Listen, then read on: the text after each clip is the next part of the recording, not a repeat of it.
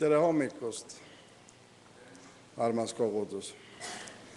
tere hommikust ka külalised, kes on meil täna siia tulnud ja taas on käes see päev, mille Jumal on meile loonud, kus me saame siia kokku tulla, teda kiitma ja ülistada ja teenima.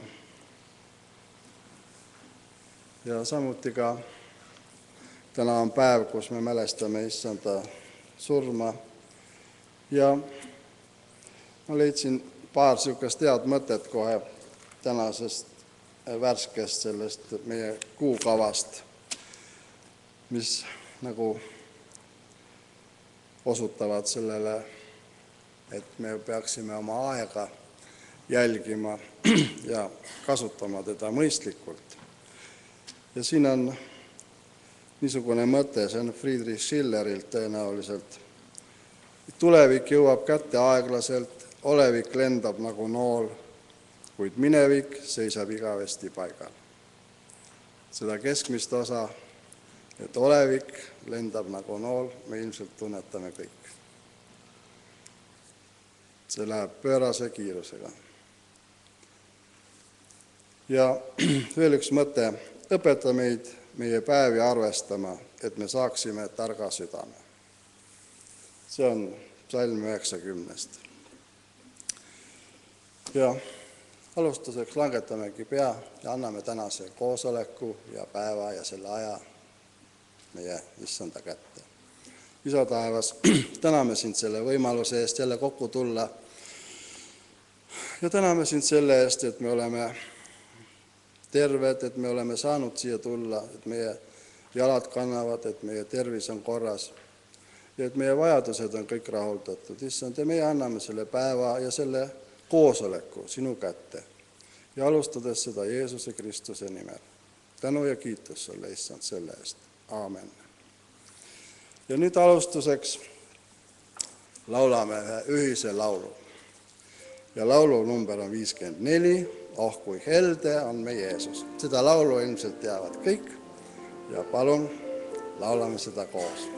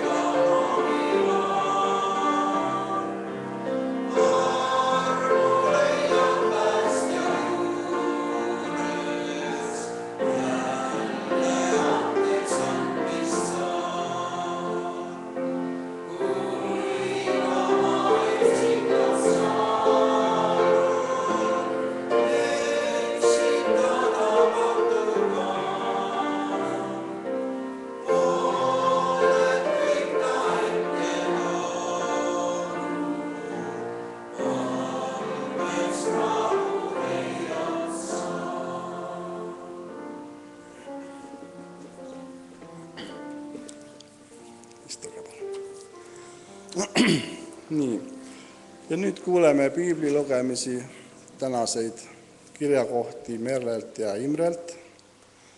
ja pärast seda siis ülistame koos ülistusgrupiga meie issandat ja Jumalat. palun.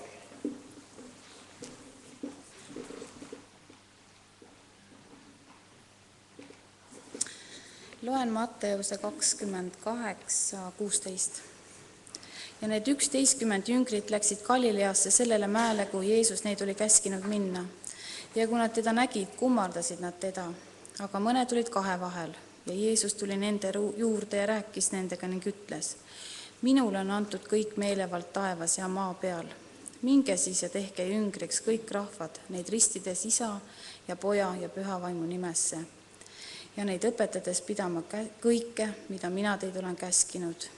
Ja vaata, mina olen iga päev teie juures maailma ajastu otsani.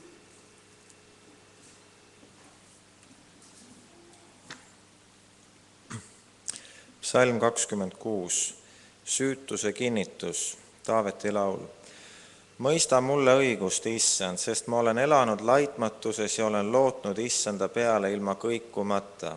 Katsu mind läbi, issand, ja proovi mind, sulata mu neerud ja mu süda, sest sinu heldus on mu silma ees ja ma käin sinu tões ma ei ole istunud koos valelike inimestega ega lähe kaasa salalikega, ma vihkan kurjade kogu ega istu õelate kilda.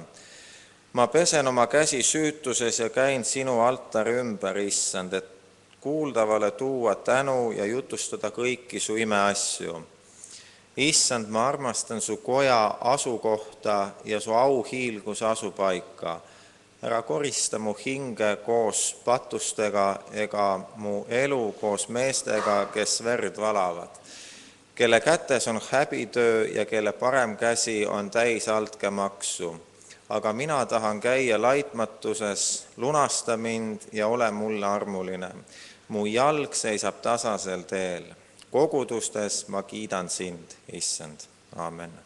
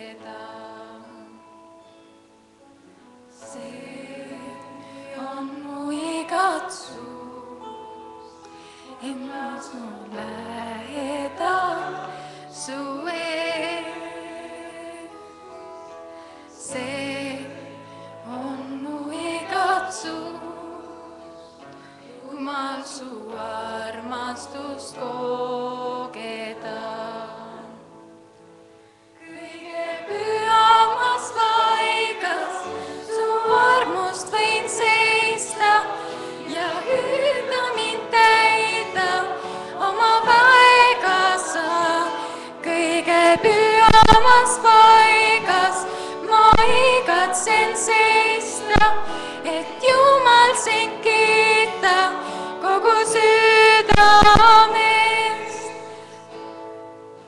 see on mu igatsus, end anda taas vaid sinule.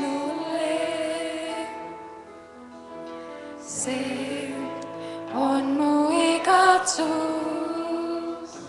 et võiksin olla su lähedal.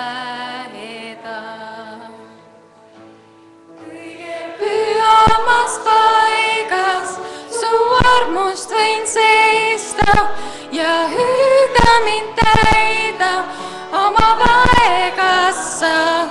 kõige pühamas paigas ma igatsen seista, et Jumal sind kiita kogu südamest. kõige pühamas paigas su armust võin seista ja hüüda mind täida oma vaegas sa. kõige pühamas paigas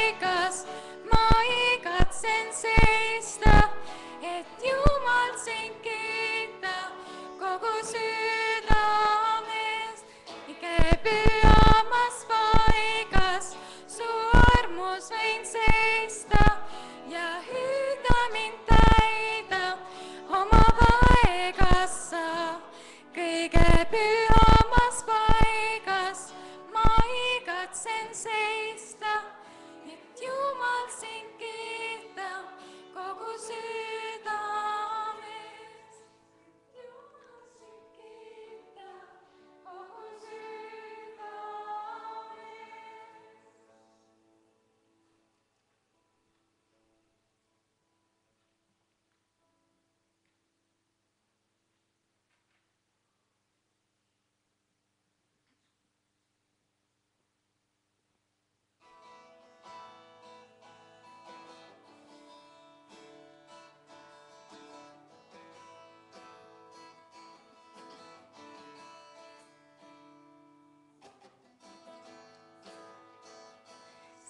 See, mida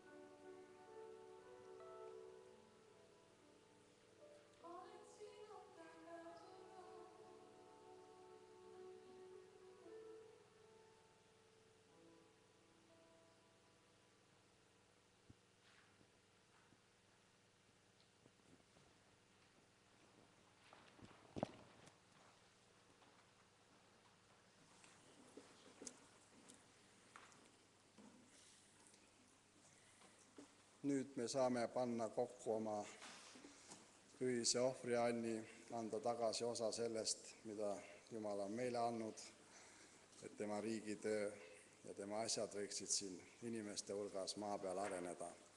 ja laulame samal ajal laulu number nelikümmend neli, kas tunned seda imelist nime.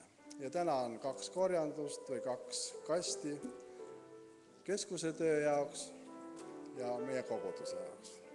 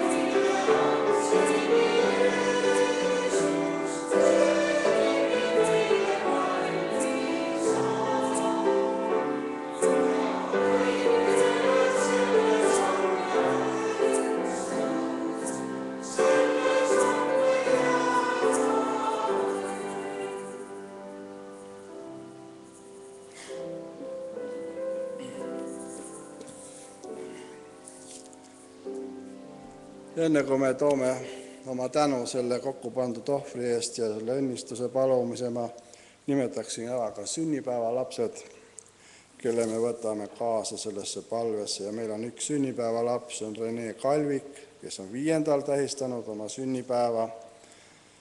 Ja eespalvekogudustest on meil Kohtla-Järve EK kogudus Lootus ja Palade Prii kogudus, kes täna tähistavad oma aastapäeva.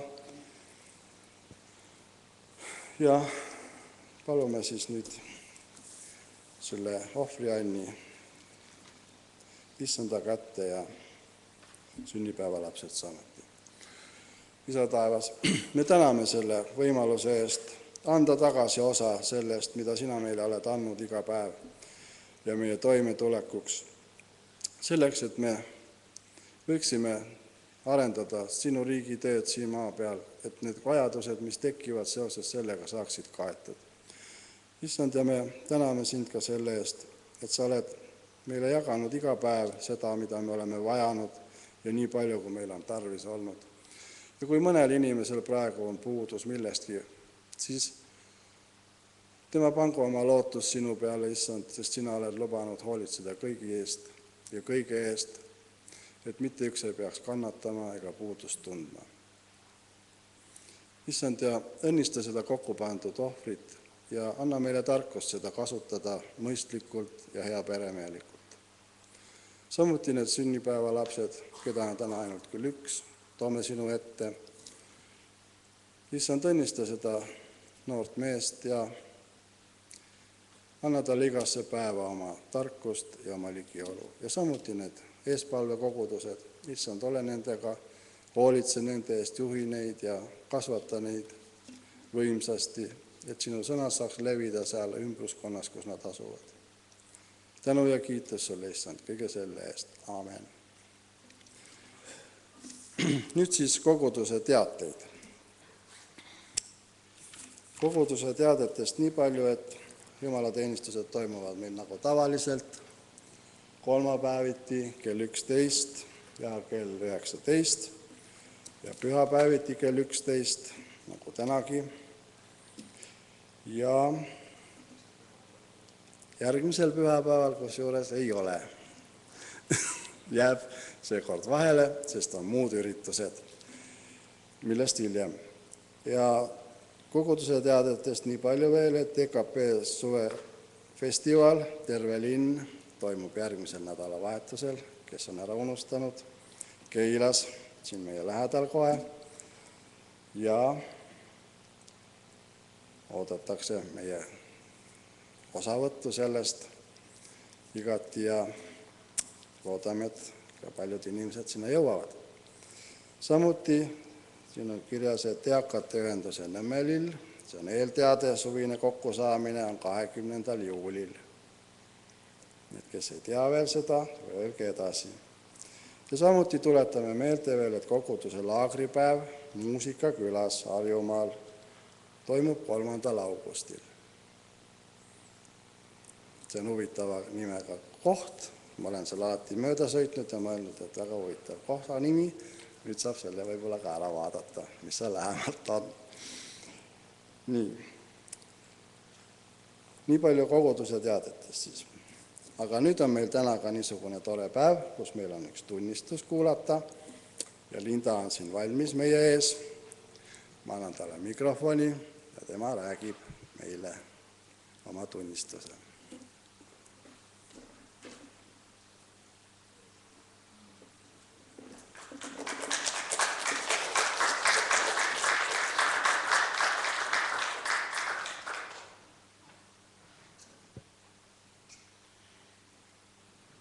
Taaveti laul sada kaheksateist, esimene salm on tänage Jehoovat, sest tema on hea ja tema heldus kestab igavesti.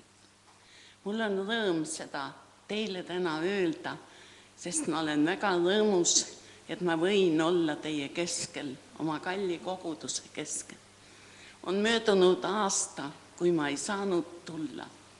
kukkusin, mõõtsin puusaluu ja sedasi on läinud aeg peale selle. oli lamatis jalas ja siiamaale on tulnud ravida. aga kuigi ma olen vilets, siiski ma olen õnnelik, et ma olen täna siin, sest see on Jumala õnn.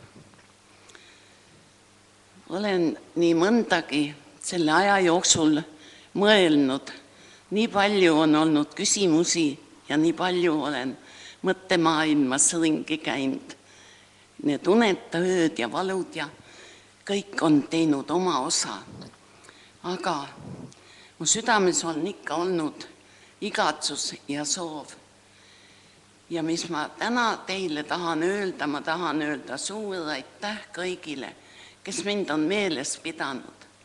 kui hea oli see, kui oled juba nii kaua seal nelja seina vahel olnud ja ja üksinduse tunne tuleb, aga kui seal heliseb telefon või tuleb seal jälle mõni kirjake või kaart ja tullakse külastama nii haiglas kui kodus, ma olen kõikidele väga tänulik, kes seda on teinud. sellepärast, et seda on armastus lasknud teha. Ja kui mul ei oleks neid sõpru küll, siis oleks elu kurb. aga mul on rõõm südames, et mul on, sest ma olen koos teiega, taevaisa laps. on seitsekümmend kolm aastat möödunud, kui ma sain selle tunnistuse ja see aeg on läinud küll tihti üle kivide kändude, aga ikka on Jumal olnud ta ei ole mind hüljanud, ei maha jätnud ja täna võin ma selle üle rõõmus olla. paljud inimesed ei oska seda hinnata, ka vanas eas, kus nii paljud peaks mõtlema, mis ootab ees. hiljuti rääkisin ühe endast eakama inimesega veel ja tema muretses ja rääkis väga palju sellest, kus, mis ja kuidas edasi minna. ja siis ma võisin talle öelda, et mina ei muretse nii palju, sest minu elu on kindlustatud. siis ta tegi suured silmad ja vaatas, et mis jutt see nüüd on. jah, et minul küll ei ole ja ma pole teadnudki seda, ma ütlesin jah, ka sina võid seda teha. Ja kui ma ütlesin siis, et minu kindlustuspolüüs on seal üleval, siis ta muidugi muigas ja jutul oli lõpp, sest temal ei olnud seda vaja, kuigi see on nii tähtis asi. aga selle kõige aja jooksul mu südamest ei ole kadunud lootus ja ma olen õnnelik selle üle, et mul on, kuhu ma kuulun, mu kallis kogudus, kui hea oli neid kontakte ikka hoida mul on kogu, iga kuu olen kuukava saanud, ajakirja saanud ja nendega on nii palju vaheldust, kui sa oled üksinda. aga ole, olge kõik väga õnnistatud ja tehke ikka armastuse tööd, nagu te minu suhtes olete teinud.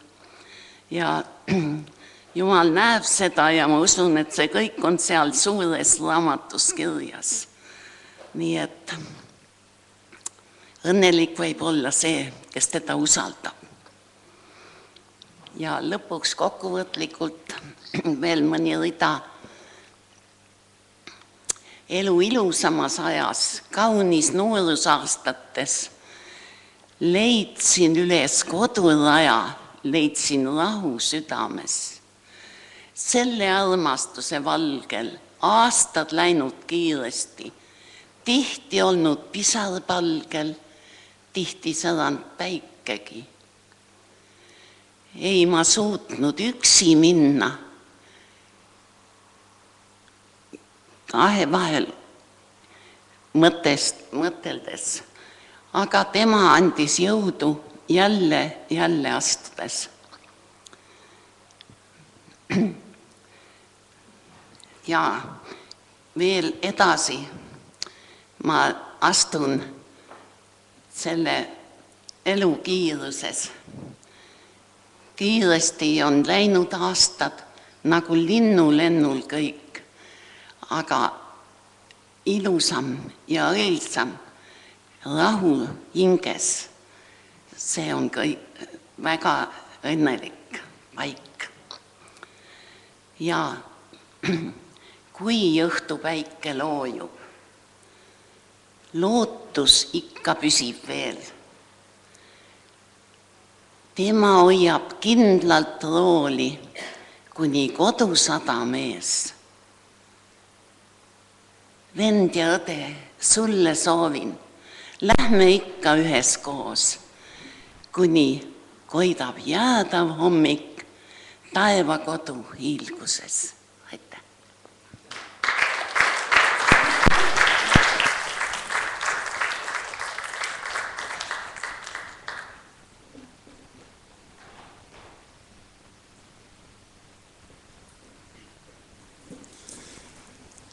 Aitäh, Linda, selle tunnistuse eest ja Jumal õnnistagu sind ja andku sulle rahu igaks päevaks.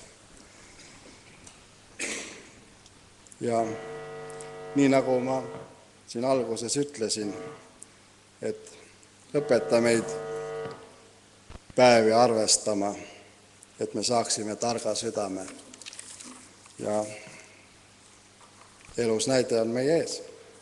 Ja nüüd ülistagem siis veel Jumalat ülistusega ja siis pärast seda on Taaval anda meile edasi oma mõtted.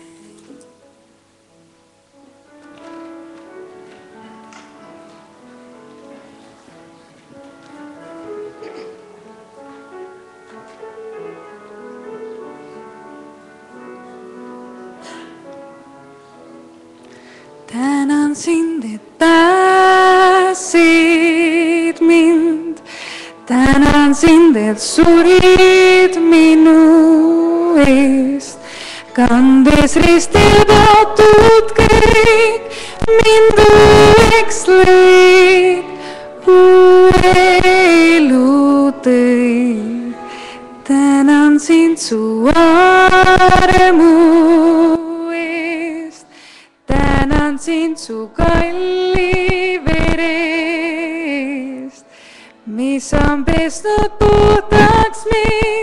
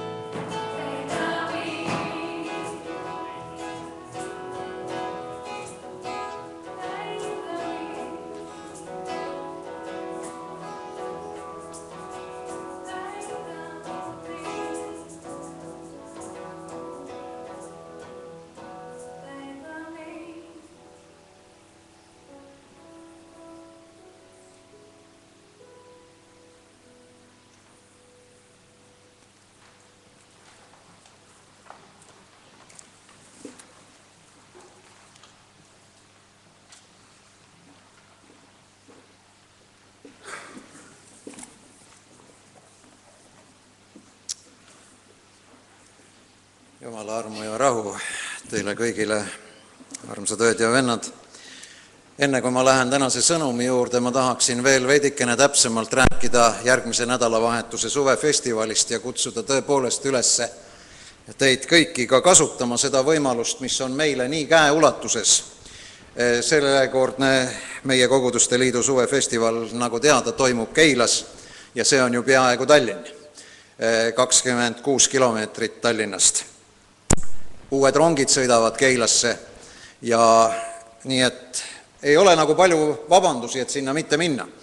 ja ma tahan mõne sõna lihtsalt selle eh, nende kolme päeva sündmuste tutvustamiseks rääkida. see kava on tihe ja pikk, mul on neli lehekülge peaaegu seda materjali, mis seal toimub. seda kõike ma ei hakka teile praegu ette lugema ja, ja kahtlemata, kellel arvutile on ligipääs, need saavad seda vaadata ka sellelt aadressilt, mis siin seina peal praegu on. aga reedel siis need üritused juba algavad, laste jaoks algavad üritused juba neljapäeval, kui sama suvefestivaliga paralleelselt toimub selline üritus nagu Kids Games. Ja seegi on Keilas, Keila lauluväljakul aga nüüd siis sellest suvefestivalist. kella kaheteistkümnest neile, kellel on vaprust ja, ja füüsilist tugevust, on võimalus osa võtta ristikäigust, mis algab Haaberstist Statoili bensujaama juurest Rocca al Mares ja sammutakse kuni Keilani välja. selline ristikäik, võimalus on kaasa aidata suure kolmemeetrise risti kandmisel sellel on küll ratas ka toetumas vastu maad, seda ei pea ainult õla peal kandma, aga sellises ristikäigus on võimalus reedel osaleda. üritused reedel algavad siis Keilas kella, kella kuuest ja Kultuurikeskuse ees on avakontsert, kus on siis ka tervituskõned nii Keila linnapea poolt kui meie Koguduste Liidu presidendi Meego Remmeli poolt ja muusikat teeb seal ansambel Häälemaa edasi lähevad mitmed üritused, on noorteõhtu Keila tervisekeskuses ja kontsertpalvus Loomisest lootuseni, see toimub Keila Miikaeli kirikus. ja õhtul on veel filmiõhtu ja minu teada on see vabas õhus Keila keskväljakul, nii et vabaõhukino on võimalus vaadata laupäevane päev algab juba hommikul poole üheksast hommikusöögiga ja teiste üritustega siis sealt edasi, ma kõiki neid ette ei loe, aga kella üheteistkümnest on pühitsusteenistus, see toimub Keila tervisekeskuses, seal kõneleb Märt Vähi ja seda koosolekut juhatab Viljar Liht. muusika on Margit Prantsuselt ja piiblilugemislaagri ansamblilt päeval toimuvad mitmed huvitavad õpikojad või töötoad, nagu neid on nimetatud, väga erinevatel teemadel ja mitmeid huvitavaid ettekandeid on võimalus kuulda ja nendes osaleda ja see kava on ka korraldatud nii, et saab osaleda erinevates nendes töötubades. samuti on võimalus ka siis need asjad toimuvad küll paralleelselt päeval, aga osaleda ka bussiekskursioonil Lootuse külla. õhtul on, või õigemini see on siis veel pealelõunal, kella viiest on klassikakontsert Miikaeli kirikus, siis on ka spordihuvilistele rulluisu- ja jooksuvõistlus kella neljast kuueni Keila terviseradadel ja õhtul tervisekeskuses poole kaheksast Timo Lige kontsert. Siis veel mitmedki teised üritused, kõiki ei jõua siinkohal ette lugeda, aga lihtsalt, et teis natukene huvi ja põnevust tekitada, sellepärast ma neid asju siin nimetan. pühapäevane päev on, jälle algab hommikusöögiga, kes on seal kaugemalt tulnud, ma arvan, et Tallinna rahval on parem kodus kõht täis süüa, aga kes on muidugi omale tellinud ja plaaninud need päevad seal olla, ka see võimalus on. kella üheksast toimub ristimiskoosolek Keila jõepargis jõe ääres ja kella üheteistkümnest siis taas Tervisekeskuses lõpujumalateenistus. kus on võimalus kuulda mitmetele kristlastele tuttavat vaimulikku muusikateost Kui mu rahvas, seda esitab terve suur koor ja Maarja Vardja juhatab seda ja sellel lõputeenistusel jutlustab Meego Remmel ja seda koosolekut juhatab Tõnis Roosimaa. nii et palju head, põnevat ja ma usun, kindlasti vaimulikult ka kasulikku on võimalik nendel päevadel kogeda ja nendest asjadest osa saada, nii et kasutagem seda võimalust. ja siis veel meie koguduse laagripäevaga äh, seoses meeldetuletuseks, et äh, oleks hea, kui te paneksite oma nimed kirja, ma panin sinna ette vestibüüli laua peale sellise paberi või tabeli, kuhu saate ennast kirja panna ja sinna ka lisada, et äh, kas te vajate transporti, see aitaks meil seda üritust paremini korraldada nii transpordi asja suhtes kui, kui ka arvestada siis sellega, kui palju meid tuleb, et missugune on see toiduhulk, mida me peame varuma ja ette valmistama.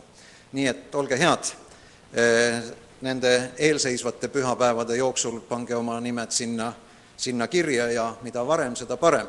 järgmisel pühapäeval küll siin teenistust ei ole, aga, aga kui ühel või teisel põhjusel ka nädala sees siia majja satute, on võimalus ka seda teha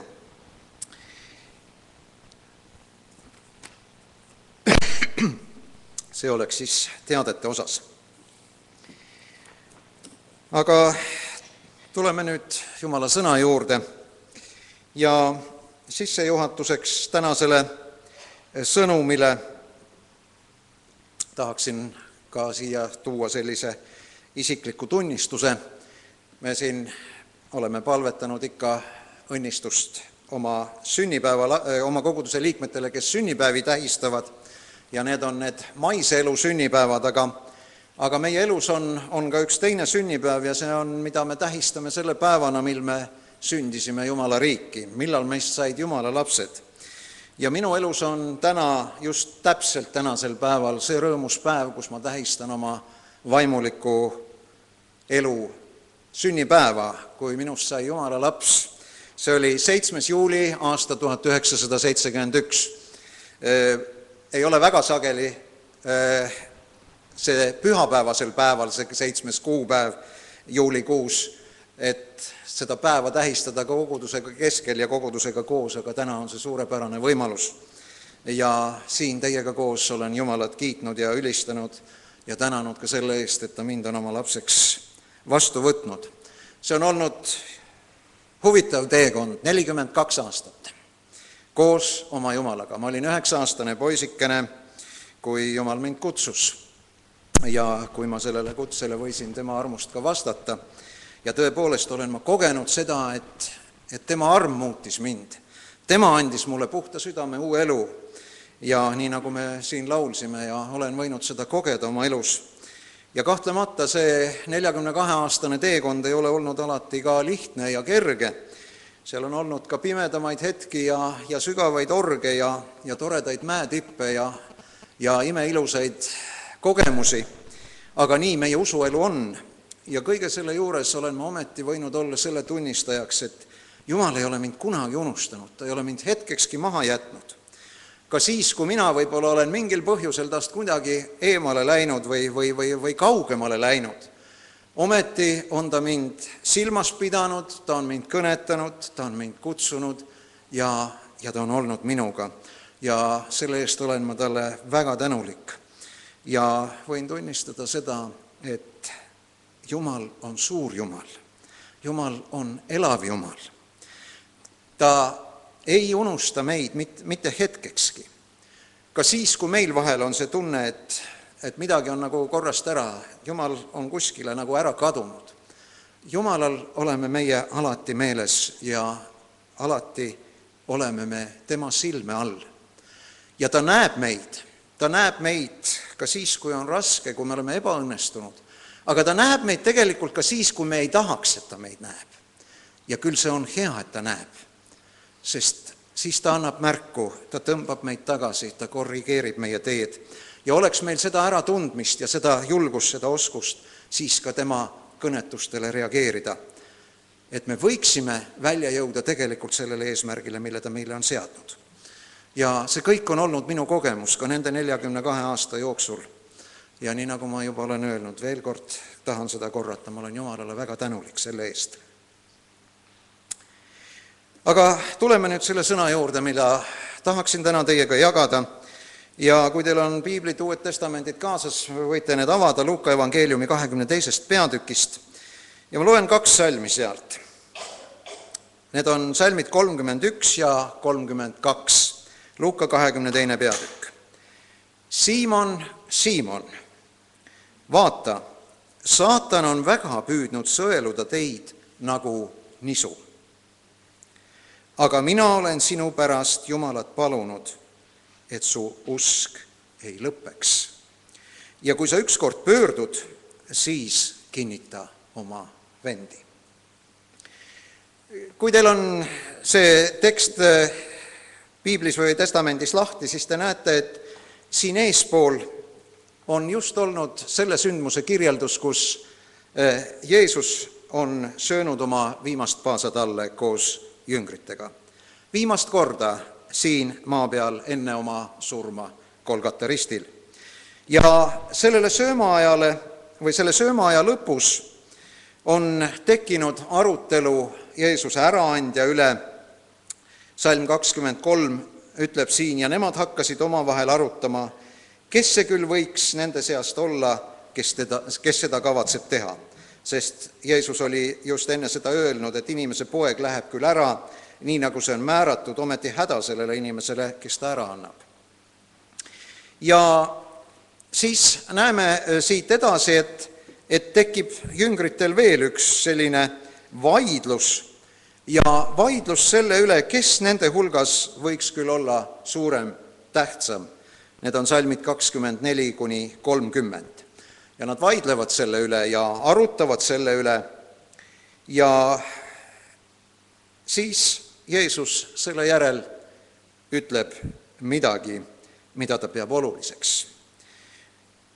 ja selle juures me nüüd järgnevalt mõne hetke tahame peatuda.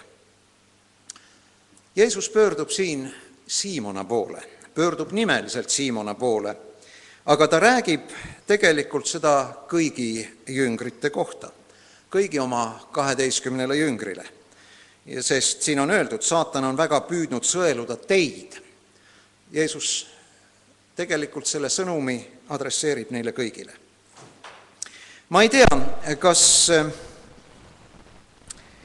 see tuleb jüngritele sellel hetkel kuidagi üllatusena või mitte. usun, et hiljem mõistavad nad oma elus ka Jeesuse nende sõnade tähendust. igal juhul selles sõnumis peitub nii hoiatus kui ka julgustus. ja hoiatus seisneb selles, et jüngreid informeeritakse saatana tegevusest. Eestikeelses tõlkes on öeldud, saatan on väga püüdnud. vastav kreekakeelne sõna, mida siin kasutatakse, tähendab sõna-sõnalt nõudma, anuma, paluma. saatan on palunud, et ta saaks sõeluda jüngreid kui nisu Toomas Paul on selle vägagi tabavalt tõlkinud, selle salmi Siimon, Siimon, vaata, saatan on teid väga nurunud endale sõeluda nagu nisu. selline väljendus räägib meile sellest, et saatan ei saa Jeesuse jüngrite, tema järgijate elus teha midagi, milleks Jumal luba ei anna sedasama kinnitab meile ju tegelikult ka Hiobi lugu, kui te vaatate Hiobi esimese peatüki kuuendat salmi ja teise peatüki esimest salmi, siis seal on näha, kuidas saatan tuleb jumala rahva keskele ja jumala ja saatana vahel tekib vestlus Hiobi üle. ja Hiobil on kange tahtmine Jumalale näidata, et ta saab Hiobist jagu aga, aga ta nagu tunnistab Jumala ees seda, et, et ma ei saa midagi teha, kui sa luba ei anna. ja Jumal annab seal loa nendeks sammudeks, mis seal sünnivad. nii et olgu see meile täna julgustuseks ja teadmiseks. midagi uskliku inimese elus ei sünni ilma Jumala teadmata ja ilma selleta, et Jumal neid asju meie ellu lubab. vahel on meil küll tunne, et saatan saab meist kuidagi võitu ja, ja püüab meie elu rikkuda, ta püüabki, seda räägib meile piibel väga selgelt. aga midagi rohkemat ei saa meile sündida, kui Jumal seda lubab. tegelikult on kõik Jumala kontrolli all. kui sina oled Jumala laps, siis sa oled Jumala käeulatuses ja sinuga ei saa juhtuda midagi, millesse Jumal ei saaks sekkuda. siinkohal võivad meil tekkida nii mitmedki küsimused. miks? kuidas nii? kas Jumal saab niimoodi toimida? vähemalt minu kogemus on see, et mitmelgi korral on tekkinud erinevad sedalaadi küsimused. ja on nii ilmne, et need sündmused, mis on osaks saanud, et äh, need on, need on nii halva maitsega, need on, on nii kehvad, kuidas äh, võib olla Jumal üldse selles olukorras teadlik neist asjadest? see on saatana töö, see on saatana vingerpuss. jaa, see võibki nii olla, aga Jumalal on see teada. ja sellistes olukordades, kui need küsimused meile tekivad, me võime reageerida väga tormiliselt. see, mida Jeesus Peetrusele ütleb, Peetruski reageerib siin vägagi tormiliselt. Peetrus ütleb talle, issand, ma olen valmis minema sinuga nii hästi vangi kui surma. ta ei suuda nagu kuidagi selles olukorras näha seda tulevikku ja seda, mida Jumal ette näeb millest Peetrusel tegelikult tuleb ka läbi minna. ja, ja millised riukad võivad saatanal olla varuks nii tema rajalt kõrvale tõmbamiseks kui, kui seda ka meie jaoks. paar nädalat tagasi lugesin esimese Peetruse viiendat peatükki ja jäin mõtlema salmide kaheksa ja üheksa üle. ja seal kaheksandas ja üheksandas salmis on öeldud olge kained, valvake. Teie süüdistaja kurat käib ringi nagu möirgav lõvi, otsides, keda neelata. tema vastu seiske kindlalt usus, teades, et neid samu kannatusi on pandud kogema kogu kristlaskond maailmas. paistab nii, et Jumal lubab meie ellu selliseid asju. olgu need siis haigused, katsumused, ebaõnnestumised, läbikukkumised.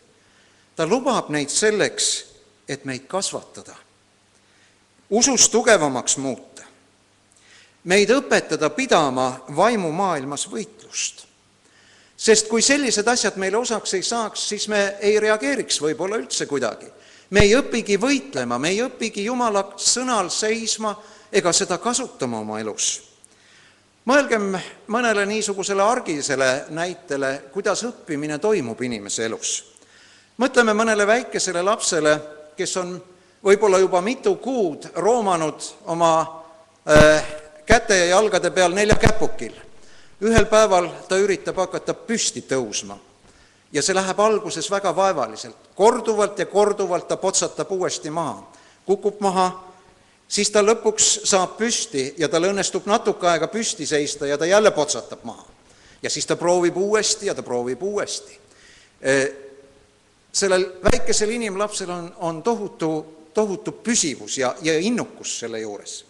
vahest ta saab ka haiget ja nutab, ema võtab sülle ja lohutab aga ometi ema teab, et nii toimub see õppimine. samamoodi käima hakkamisega.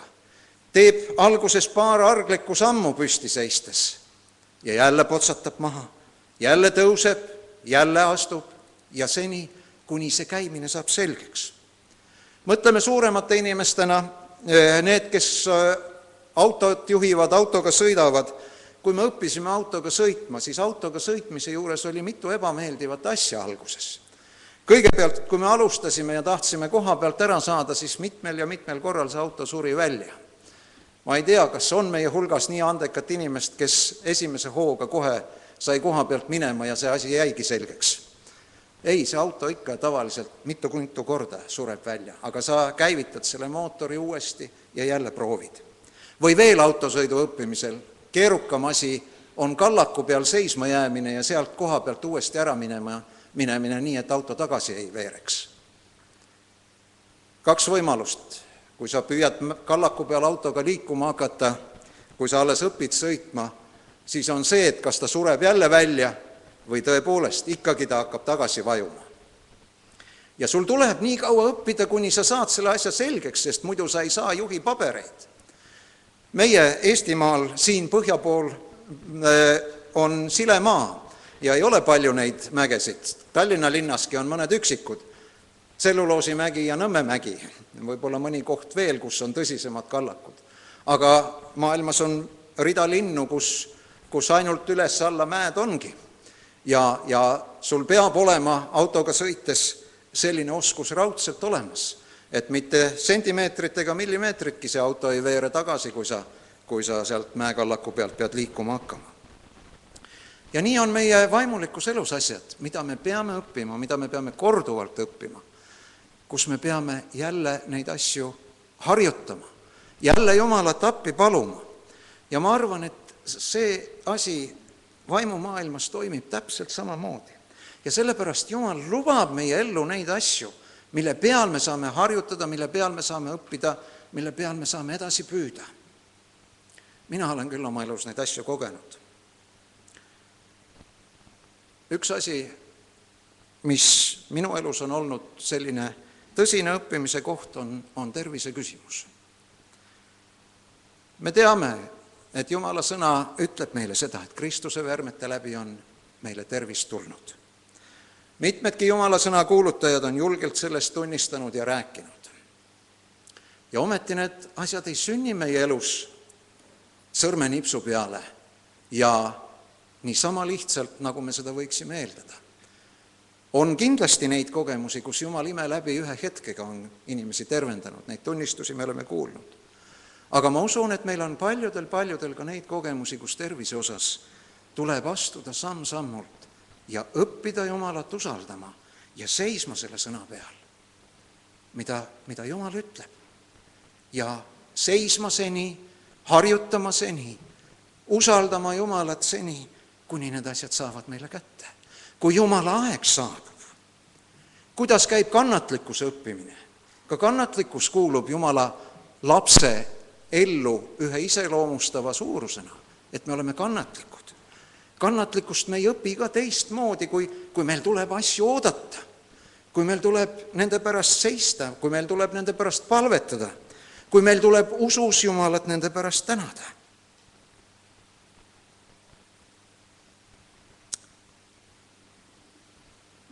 Neid asju tuleb lihtsalt seni õppida, kuni nad selgeks saavad. ja seni, kuni me oleme siin selles füüsilises maailmas ja oma füüsilises ihus, oleme me paraku vaimse maailma võitlusväljal. mitte veel seal, kuhu Jeesus omadele on asemeid valmistama, valmistama läinud, nii nagu räägib Johannese evangeeliumi neljateistkümnenda peatüki algus meile. seal enam neid võitlusi ei ole seal on see õnnis aeg koos Jumalaga, tema vahetus läheduses. ja seal, kus on kõik nii, nagu Jumal kord tegelikult selle maailma lõi, kus inimesel oleks hea olla, kus inimesel küll on oma ülesanded, oma vastutus, oma kohustused, aga Jumala abi on kogu aeg ja kättesaadav. nii et meil tuleb õppida, tuleb õppida sellest, millest Jumal laseb meil meie elus läbi minna ja tuleb õppida selleks, et me oskaksime selles vaimumaailmas seda võitlust pidada. aga Jeesus ütles Siimonale ja ütles neile teistele jüngritele, saatan on väga püüdnud sõeluda teid nagu nisu. nisu sõelumine, see tänapäeva noortele ja meie linnainimestele ei ole enam hästi ettekujutatav piltki, mida see tähendab aga vanemad inimesed kindlasti taluaegadest veel mäletavad seda ja see on see, kus nisuivasid sõeluti, et kõik muu praht saaks sealt välja tuulatud ja puhas vili jääks alles.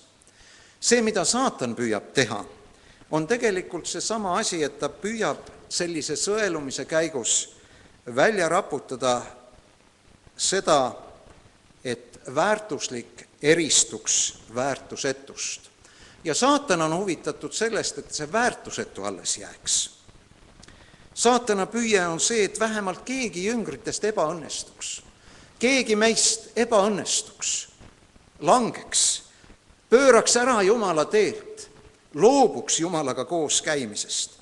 ja see lõplik eesmärk, mida saatan üritab teha, on hävitada usk ta üritab seda jätkuvalt Jeesuse järgijate eludes veel tänagi. me oleme selle ohupiirkonnas. sellepärast kutsutakse meid üles valvsusele. Jeesus hoiut-, hoiatas Siimonat isiklikult. täna hoiatab ta ka mind ja sind isiklikult. ärgem kunagem, kunagi mõelgem nii, et minuga seda või teist küll ei juhtu. Peetrus oma kogemuse najal teadis hiljem julgustada ja kinnitada usukaaslasi. ma arvan, et seesama salm, mida ma meenutasin esimese Peetruse kirjast, viiendast peatükist, need kaheksas ja üheksas salm, need tegelikult annavad tunnistust sellest, mida Peetrus selles olukorras Jeesuse sõnadest võis õppida ja ka selle järel, kui ta oli Jeesuse salanud, nendest nendest ebaõnnestumistest läbi läinud, et ta võis öelda, olge kained, valvake. Teie süüdistaja, kurat, käib ringi nagu möirgav lõvi, otsides, keda neelata. tema vastu seiske kindlalt usus, teades, et neid samu kannatusi on pandud kogema kogu kristlaskond maailmas. ja ehk oleks siinkohal kasuks Jumala sõna põhjal meelde tuletada kuidas saatan meid üritab rünnata ja rajalt maha võtta. esimene asi, mida välja tooksin, on see, et ta üritab seda teha meie ihade, kirgede, meie soovide kaudu. Jakobuse kirja esimeses peatükis salm neliteist ütleb, pigem on nii, et igaüht kiusab ta enese himu ahvatledes ja peibutades. meil on omad soovid, meil on omad ihad, ja nendes ei ole alati ainult halba, need on ka positiivsed. küsimus on selles, kas need saavad võimu meie üle ja kuidas me neid, kuidas me neid oma elus ohjes hoiame. ja saatan on väga kaval ja väga varmas neid asju ära kasutama. ta ründab nii meie põhjendatud, õigustatud kui ka põhjendamata soove ja, ja nende soovide ja ihade kaudu. ta püüab meid suunata sellistesse ekstreemsustesse, õigelt teelt kõrvale juhtida. jumal soovib seda, et me käiksime teerada, oma teerada ja käiksime selle tee peal, mitte ühest kraavist teise kogu aeg komistades ja, ja kukkudes. saatan püüab meid vahel meelitada ka tegema õigeid asju, aga tegema seda valede motiividega. jällegi on ta kaval meid petma ja selle kõige juures meil tuleb arendada enesedistsipliini, palve, usu ja kannatlikkuse läbi purustada need saatana rünnakud. Jakobus ütleb esimese peatüki neljateistkümnendas salmis, pigem on nii, et igaüht kiusab ta enese himu ahvatledes ja peibutades, aga kaheteistkümnendas salmis ütleb ta midagi muud ja see on, on nagu tõestus selle kohta,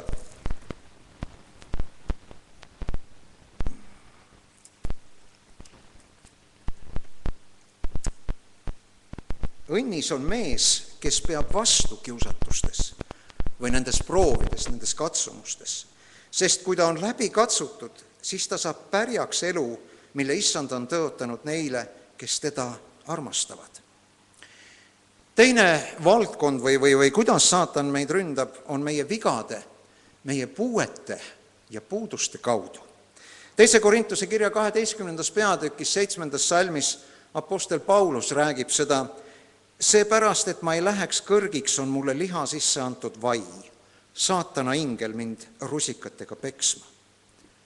saatan oskab ära kasutada ka meie olukordi, meie kannatusi, meie põdurust, meie haigusi ja üks valdkond siin on veel minu arvates see, kus tuleb eriti tähelepanelik olla, on see, kui me oleme olnud mõnda aega suurte pingete all ja selliste võitluste keskel ja siis me oleme kogenud mõnda võitu või kordaminekut ja meil on tohutu kergenduse tunne ja me laseme ennast nagu lõdvaks.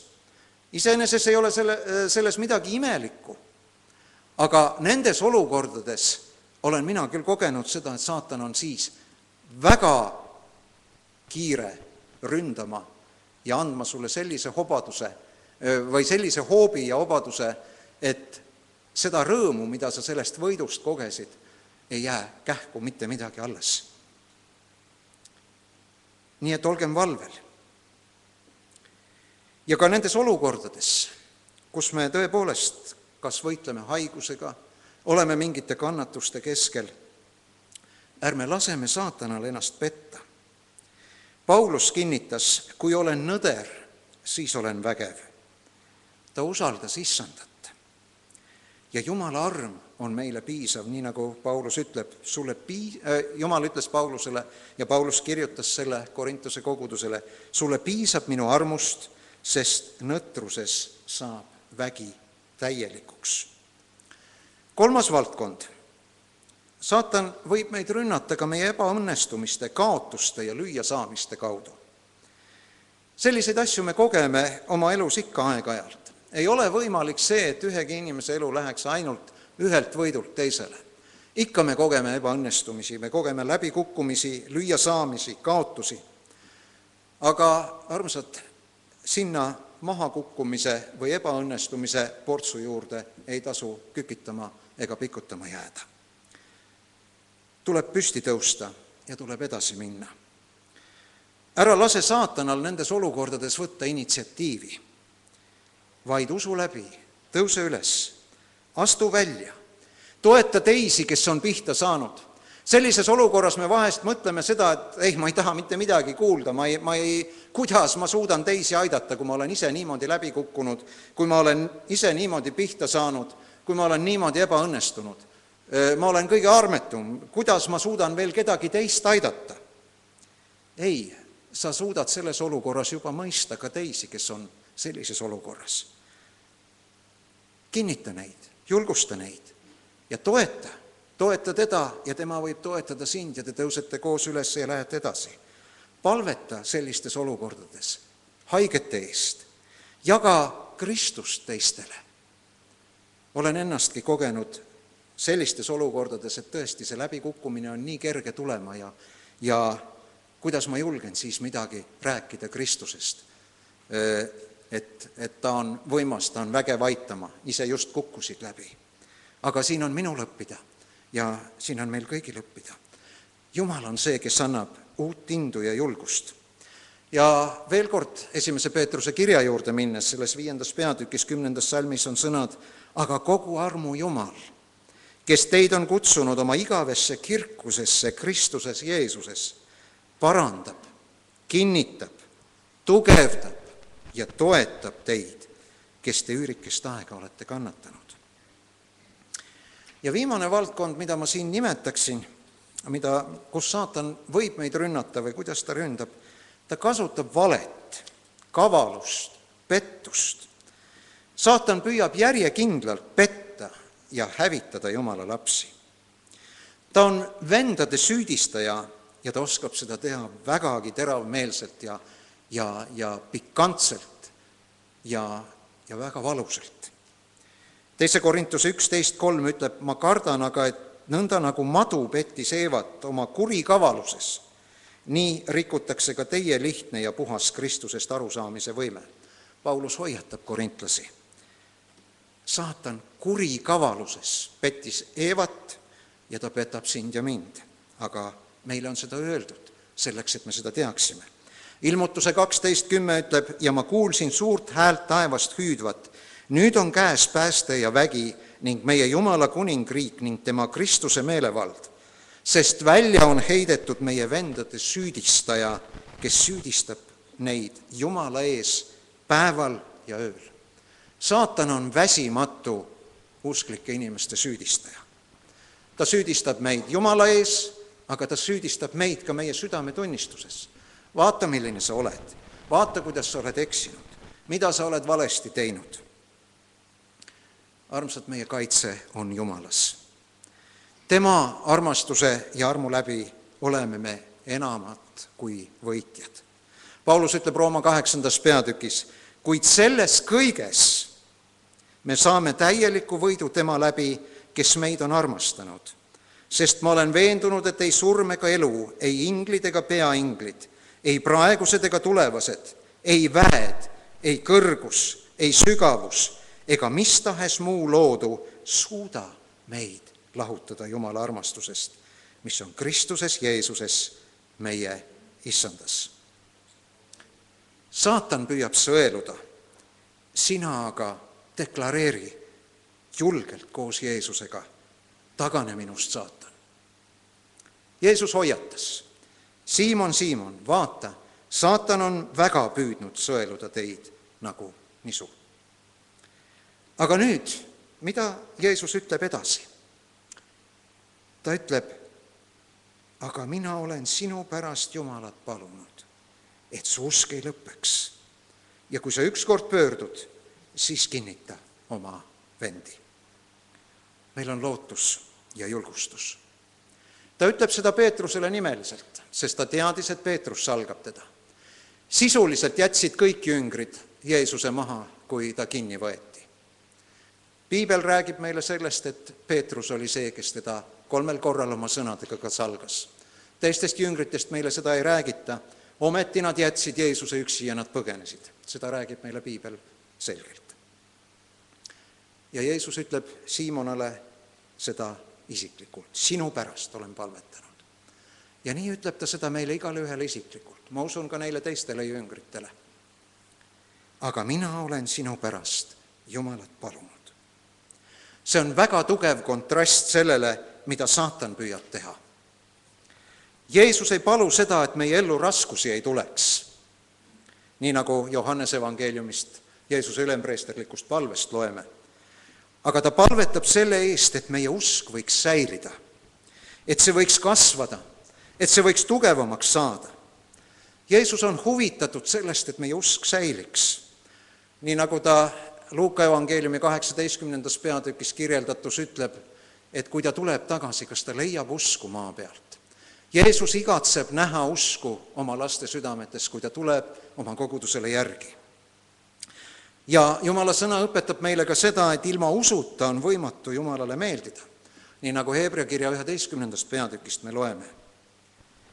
seega me näeme seda, et usk on eluliselt tähtis ja see on see, mida saatan püüab hävitada ja miks Jeesus ütleb siin Siimonale, ma olen sinu pärast Jumalat palunud, et su usk ära ei lõpeks. ta on palvetanud sinu ja minu pärast, et meie usk ära ei lõpeks jumala sõna ütleb Jumala tahet väljendades selgesti, et õige peab usust elama. Peetrus ei olnud mingil kombel tegelikult määratud lõplikule läbikukkumisele. kuigi Jeesus nägi seda ette, et ta ebaõnnestub, ta salgab. aga Jeesus nägi ka seda ette, et, et ta ei ebaõnnestu lõplikult. Peetrus pidi oma ebaõnnestumist kasutama teiste õpetamiseks julgustamiseks ja kinnitamiseks. ja kui sa ükskord pöördud, siis kinnita oma vendi. ainus lahendus oli ikkagi ainult selles, et tulla tagasi Jeesuse juurde. see kehtib täna samamoodi meie jaoks. tule tagasi Jeesuse juurde. haara uuesti usus kinni Jumala sõna tõotustest ja toetu nendele lase Jumala vaimul ja sõnal oma südant kasta, pehmendada, toita ja mis kõige tähtsam, õpetada. ära anna alla.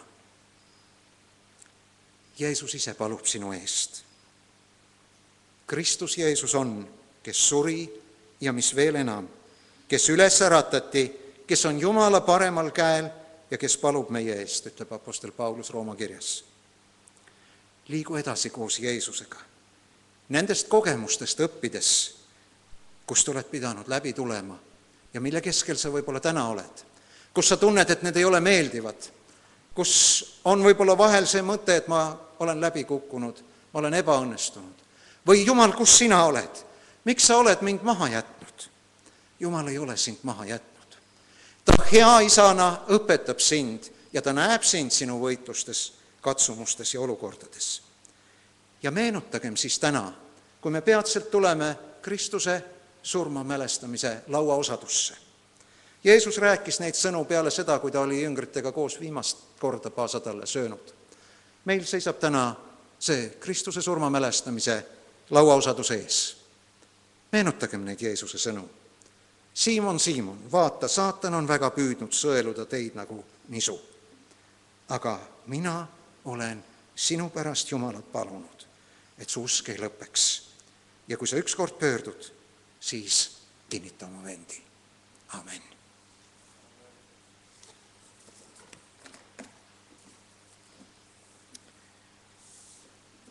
palvetame nüüd üheskoos ja see on aeg, kus me võime ka oma tänu öelda Jumalale ja ka eestpalvet Jumala ette tuua. kas on palvesoove? Või ka tänusi?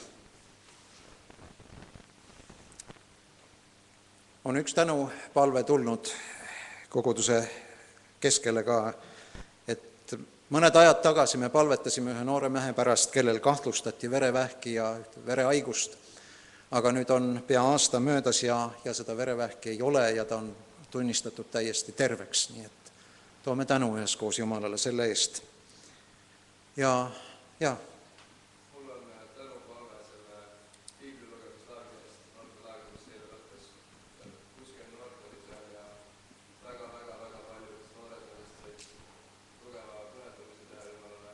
väga paljud said, päris mitmed said päästetud ja väga suured vaimulikud võitlused said seal nagu võidu pealt läbi tulla.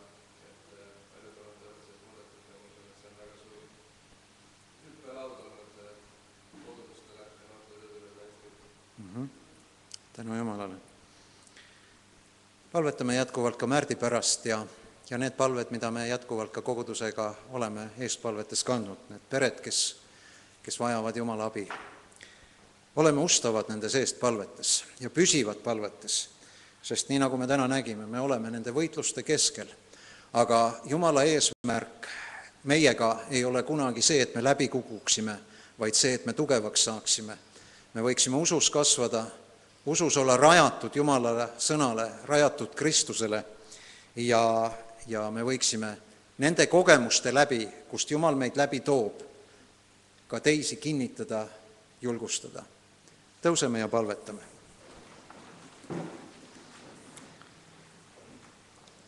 isa, me tuleme su ette tänuga, et sa oled elav Jumal ja sa oled meie hea isa. sina, kes sa meid jätkuvalt julgustad, õpetad, kinnitad, juhid, vahel sa ka meid noomid ja korrigeerid, aga see on kõik selleks, et me võiksime kasvada terveteks, viljakandvateks Jumala lasteks.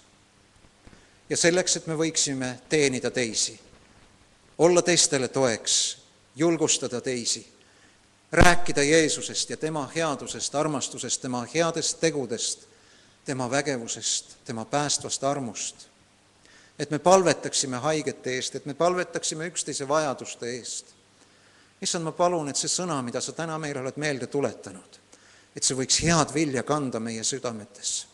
jumal, sina näed meie igaühe südamesse, sa näed meie igaühe olukorda, kus me täna keegi oleme. kelle süda on kuidagi võib-olla kalgistunud või muutunud kõvaks. issand, pehmenda seda südant, seda südame põllumaad. Issand, kelle südame põllumaa on muutunud kuidagi kuivaks, kasta seda täna, kasta seda selle taevase vihmaga, oma vaimuga, tee elavaks? Ja issand, puhu meie peale, puhu oma vaimu meie peale täna.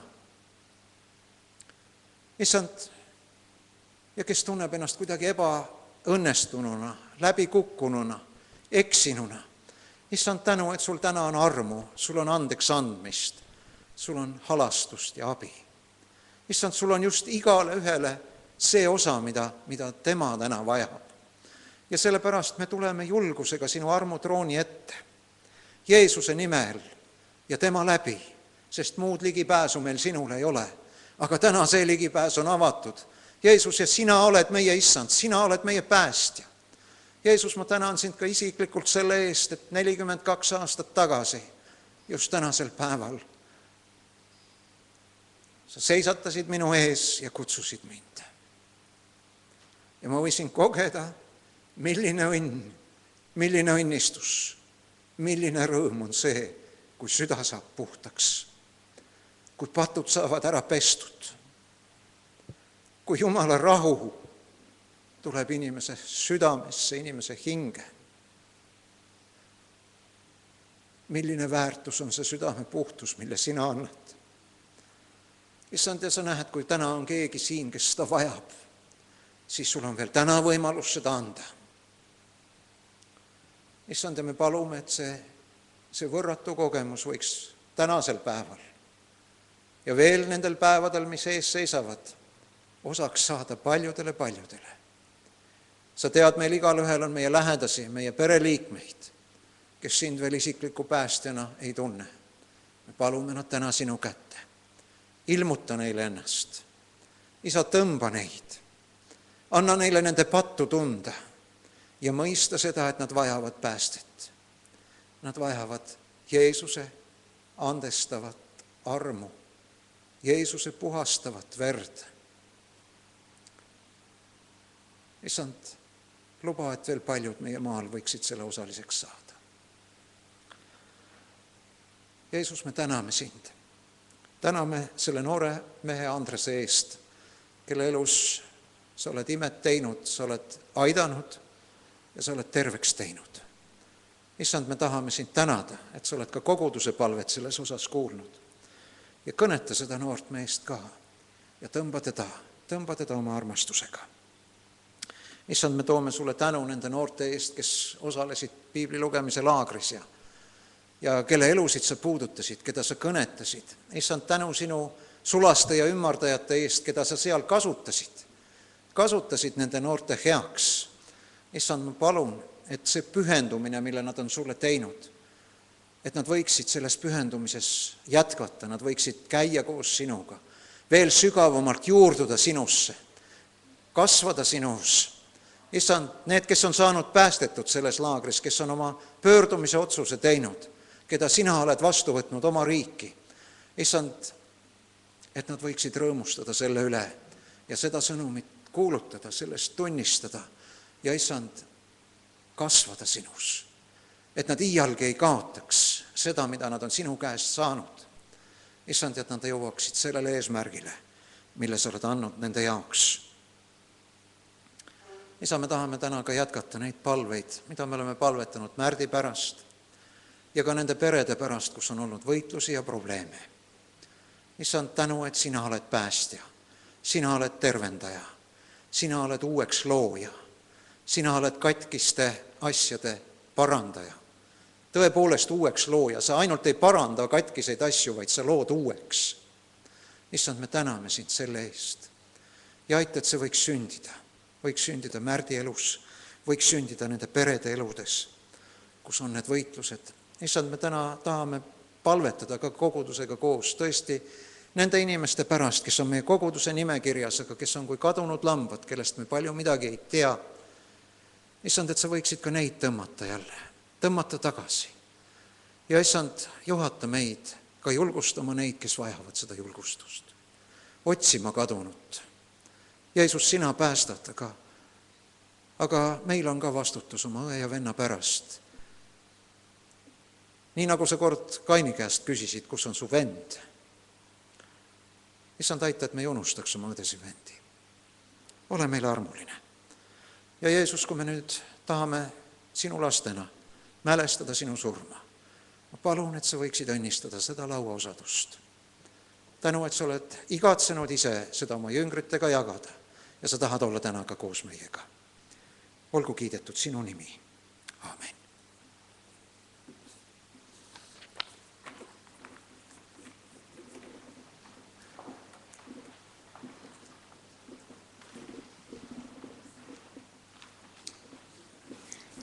Ja laulame nüüd lõpetuseks laulu number kakssada üks ja võtame selle sõnumi kaasa sellest laulust järgnevateks päevadeks ja laulu nimi on Jäägu Jumala rahu su juurde.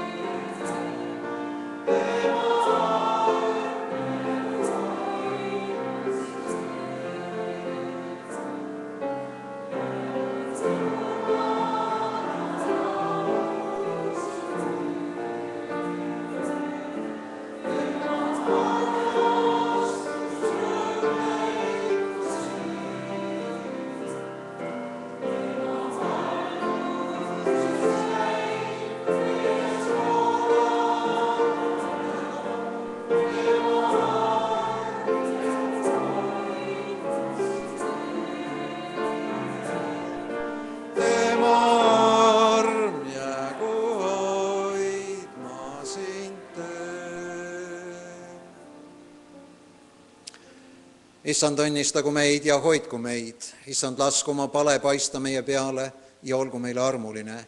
issand, tõstku oma pale meie üle ja andku meile oma rahu, isa, poja ja pühavaimu nimel, aamen. Jumala lastena, Kristuse ihuliikmetena jääme me kohe nüüd ka issanda surmamälestamise osadusse ja, ja hästi lühikese vaheaja järel jätkame ja ma palun, et need, kes osalevad, et te tuleksite, istuksite esimesed pingid täis, siis on ka vendadel lihtsam teenida